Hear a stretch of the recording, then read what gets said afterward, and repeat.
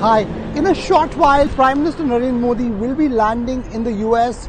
Uh, a big uh, agenda lined up for his visit. Today, he will have meetings uh, with the US energy majors in Houston, uh, followed by a number of community uh, engagements, community organizations, Indian community organizations will be uh, meeting him today. And tomorrow is the big Howdy Modi, where in Houston, where almost 50,000 people are expected.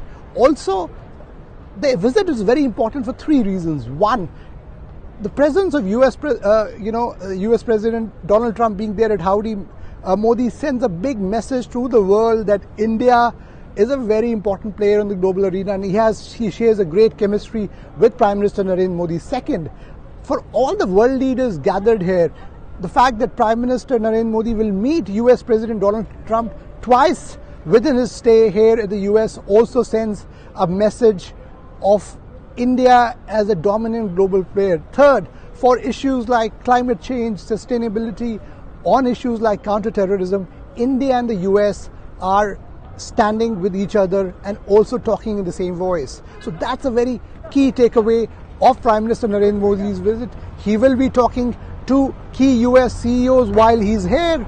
Also, uh, will be addressing an economic summit organized by Bloomberg in New York.